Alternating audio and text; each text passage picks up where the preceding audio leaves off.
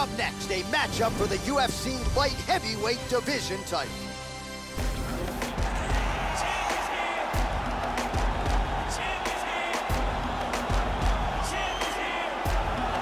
So here he is, Jon Bones Jones, two brothers in the NFL, but none can lay claim to being the greatest of all time. Bones Jones can, still on the right side of 30. Jon Jones back in 2011 became the youngest champion in UFC history. And to say he's still going strong would be an understatement. Jon Jones, the consensus greatest of all time, making the walk here tonight once again. As he makes his way towards the cage, his preparation has been perfect. He is in fantastic shape, had an amazing camp, and he believes that he is in the perfect position to become the new champion of the world. As he steps into the octagon right now, he steps in with a champion's mindset.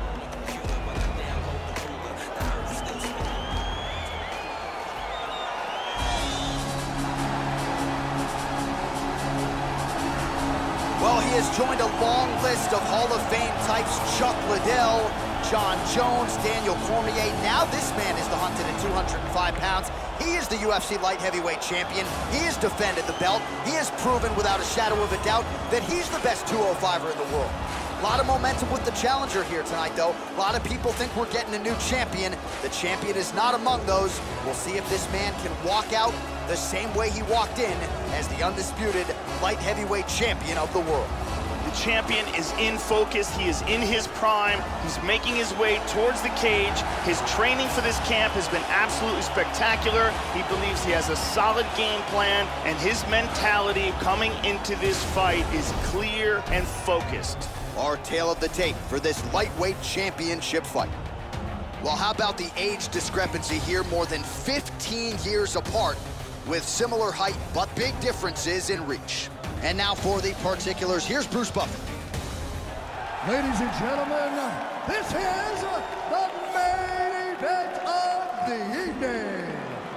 And when the action begins, our referee in charge of the Octagon, Dan Miragliotta.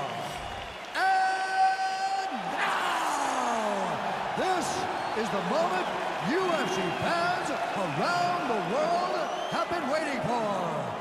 Live from the sold-out arena in Rio de Janeiro, Brazil. It's time!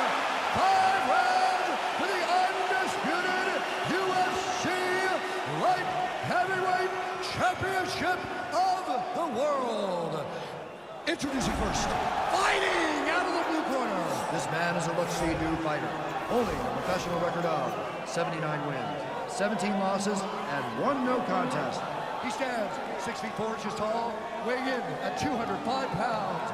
Fighting out of Albuquerque, New Mexico, presenting the challenger, Jon Bones Jones! And now, introducing the champion, fighting out of the red corner. Man is a Muay Thai kickboxer and jiu-jitsu fighter, holding a professional record of 36 wins, no losses.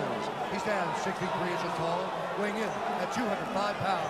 Fighting out of Sydney, Australia, presenting the reigning, defending, undisputed UFC light heavyweight champion of the world, Assassin.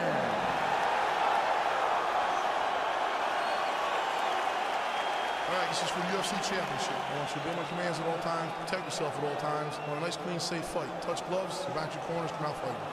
All right, here we go. I am fired up for this fight. It's been a long time coming, and they're finally going to get after it. All right, here we go. Doesn't get much bigger than this. Five rounds if needed. Oh, he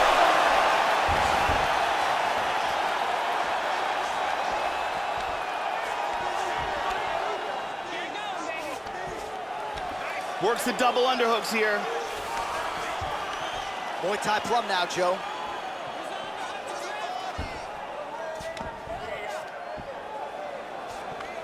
And now he's got that tie clinch.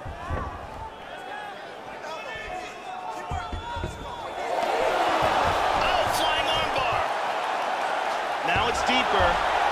There's more pressure on that arm. Any second, he may have to tap. Outstanding. Great job in establishing that submission.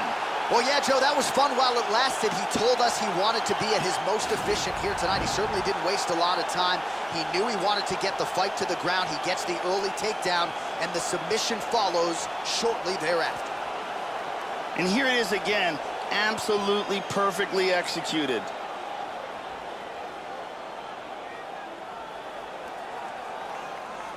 And finally, one more time, no choice but to tap.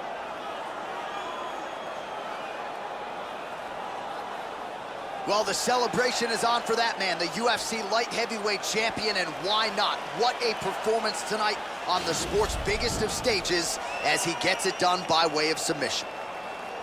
Ladies and gentlemen, referee Dan Miragliotta has called a stop to this contest at one minute, eight seconds of the very first round. Declaring the winner by tap out.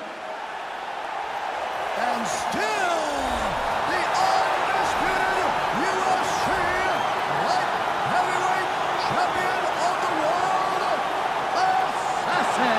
Well, he came into this fight as the unquestioned best at 205 pounds, and he only adds to that legacy here tonight.